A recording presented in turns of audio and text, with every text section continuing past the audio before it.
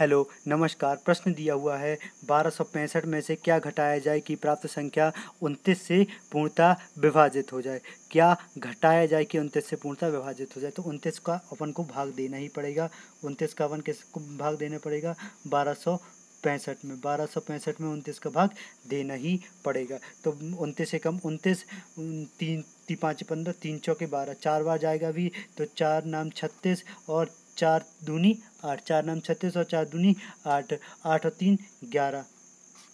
तो ये कितना बचेगा? ये बचेगा दस, हो जाएगा एक सौ पाँच, उनतीस, तीन तीन तर का नौ तीन चौके बारह ग्यारह हो जाएगा मतलब तीन तर का नौ मतलब उनतीस तो नौ तीन सत्ताईस की सात, हाँस पलाई दो, तीन दूनी छः और दो, आठ, सतासी। ये घटाएँगे तो पंद्रह में से सात जाएगा, कितना बचेगा? आठ और सात पंद्रह, आठ बचेगा, यहाँ हो जाएगा नौ, ये बचेगा अठारह मतलब यदि